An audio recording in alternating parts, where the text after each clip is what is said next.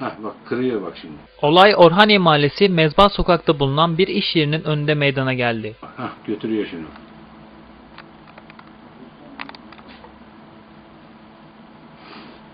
Güvenlik kamerasına da yansıyan görüntülerde iş yeri önünde bulunan bir motosikletin kilidini kıran hırsız gece karanlığında motosikletle kayıplara karıştı.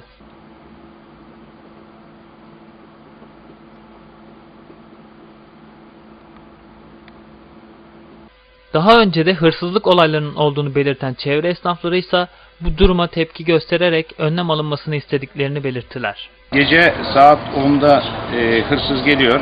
E, komşumuzun kapısının önündeki e, motorun kilidini kırıyor. Çok hızlı ve süratli bir şekilde alıp gidiyor.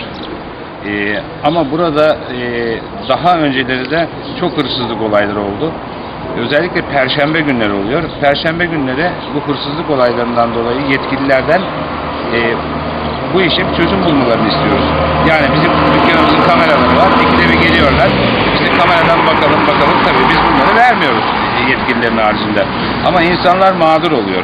Ee, bu arada pazar yeri açıldıktan sonra benim bildiğim 15-20 tane motosiklet hırsızlığı oldu. Şu dükkanımızın karşısında iki tane boşluk var otopark olarak kullandığımız. Ee, insanlar geliyorlar ve motosikletlerini bırakıyorlar.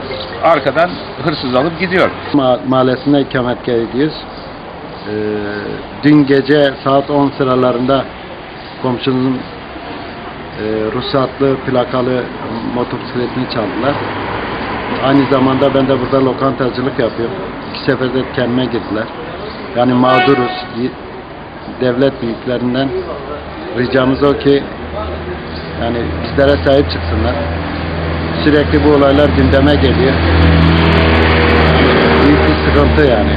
Geliyoruz iş yerlerimizin kapı kırıl- kırılmış, camlar kırılmış. İşte araçlar, gereçler çalınıp götürülüyor. Yani yetkililerden önlem almasını bekliyoruz. Hah götürüyor şunu.